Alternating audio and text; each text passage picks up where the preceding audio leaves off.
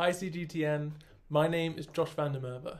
I'm 20 years old from Oxford, UK, and I want to join the media challengers because I love the work you do at CGTN, and I love reaching out to people in the spirit of education like you do.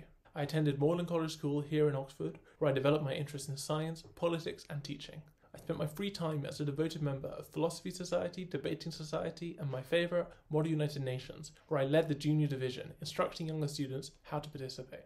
I found that I enjoyed nothing more than staying busy with new challenges, engaging with new topics I knew little about, and encouraging others to do the same. I achieved A star, A star, AB in chemistry, maths, biology, and further maths respectively for my A levels, and enrolled in the University of York, where I'm now in the second year of my master's degree in biochemistry. I was fortunate enough during my time at school to do work experience as a research assistant in laboratories at both the Sir William Dunn School of Molecular Pathology and the Nuffield Department of Surgical Sciences for a total of three months full time between the two.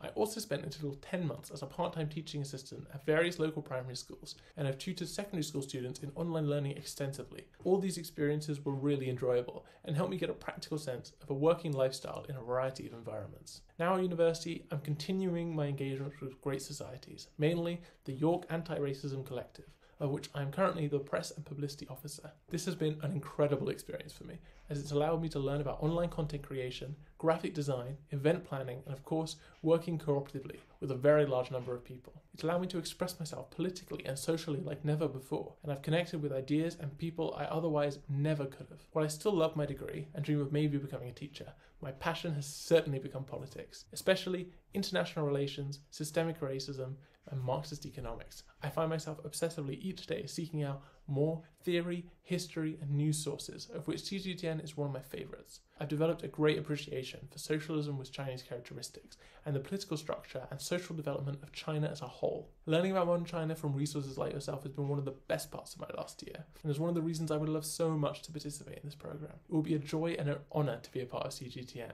and I think my experience and passion make me a good fit, especially as either a host or a reporter, presenting or writing clear accounts of the developments in anything from the politics of economic sanctions around the globe to racial discrimination here in the UK. I'm a native English speaker, familiar with technical terminology for both science and politics. I'm proficient in lecture and debate style public speaking. I have experience with making live, interactive, and or scripted online video content, as well as maintaining a social media presence for an activist organisation.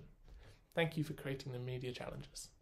I look forward to hearing from you, and whatever you say, I'm grateful for your time.